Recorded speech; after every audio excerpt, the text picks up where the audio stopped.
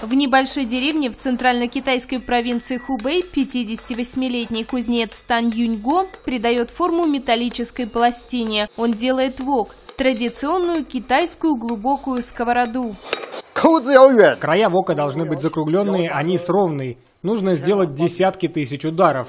Когда он остывает до комнатной температуры, нужно еще 20 тысяч ударов.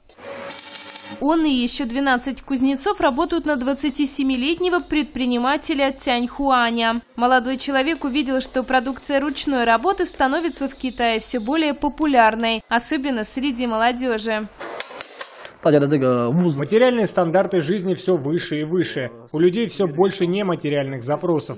Поэтому я вижу большие возможности в создании продукции ручной работы. Дед Тяньхуаня тоже был кузнецом. У молодого человека уже шесть магазинов в городке Датянь, где проживает всего 3000 человек. В месяц продает 300-400 вуков через мобильное приложение WeChat. Каждый стоит не менее 90 долларов США. Это приблизительно в три раза дороже, чем фабричный вариант.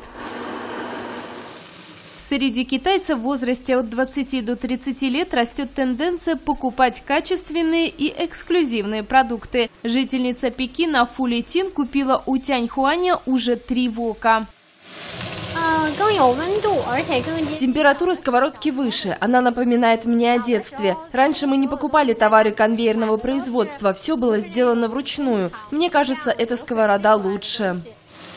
Традиционные воки изготавливаются с круглым днищем, что обеспечивает нагрев до 250 градусов по Цельсию. Однако на большинстве современных бытовых плит нет специальных держателей, поэтому воки часто делают с плоским дном.